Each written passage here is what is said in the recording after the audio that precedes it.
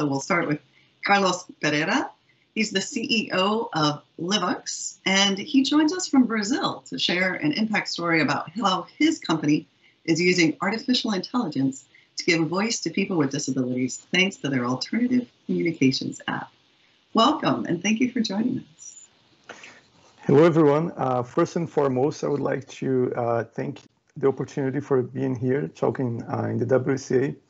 I had the opportunity to be there in 2015, um, and um, it was an amazing experience. Well, uh, my name is Carlos Pereira. I'm the CEO of Livox, uh, and my company started in, in 13 years ago when my daughter Clara was born. When she was born, uh, due to a medical mistake, um, she got cerebral palsy, so she can't walk and she can't speak. So since from the moment I found out about my daughter's uh, situation, empowering people with disabilities became a passion for me.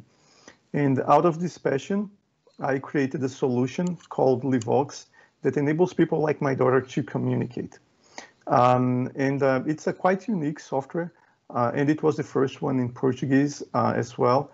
And I remember back in 2015, we were mainly in Brazil, and uh, I applied for the WSA in Abu Dhabi, and I was selected to be there. And it was very interesting because uh, I sincerely I wasn't expecting to uh, be one of the winners, but we've been selected as one of the winners. And uh, one thing that it was very interesting after that is that um, I remember after the, the award ceremony, a guy came to me. He looked like a sheikh, you know, uh, and uh, he said to me, uh, you know what? I represent a company that distributes uh, educational solutions for uh, the Arab world, uh, the Middle East, and I'm interested in distributing your solution. Would you be interested? And I said, yes. he shook my hand and he said, okay, the deal is done. You shaked my hand. And now give me your passport. You're going to Saudi Arabia. So I've been to Saudi Arabia um, a couple of times, uh, and they helped us to translate our software into Arabic.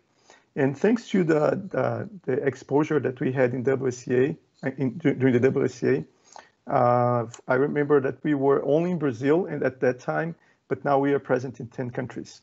And this partnership that we um, got through WSA helped us to put Livox in Saudi Arabia, Bahrain, um, Qatar, and also Sudan and Egypt.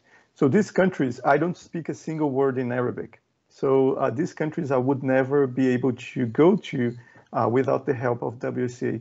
And also this was just the beginning of our international, um, you know, um, work. And now we are present, as I said to you guys, in 10 countries. Um, and uh, our software grown so much. We got an investment from Google. Uh, we started to work with the MIT. We also got an award uh, from the Inter-American Development Bank. That's where I met Carlos Abler, who is here with us, uh, and I had the opportunity to go to 3M. So, uh, in, in when I when I look back, it's very interesting because I remember how all this started, and um, and that's why I have a lot of you know affection for the WSA because it helped helped me to put my company front and center um, in in so many opportunities. So uh, yeah, basically this is it. Now we work with many different uh, countries. We deploy our solutions to schools. Um, and as of right now, I live here in, in the United States, but we have our company in Brazil and also in many different locations providing solutions for people with disabilities so they can be able to speak and also to receive proper education. And we did an amazing job, especially during the pandemic now, where kids with disabilities were suffering so much because they were not able to go to school. But through our solution, they were able to receive proper education in many different places. So basically, this is it. I would like to thank the opportunity. I wish uh, that I could be uh, with you guys, but maybe in another opportunity. Thank you.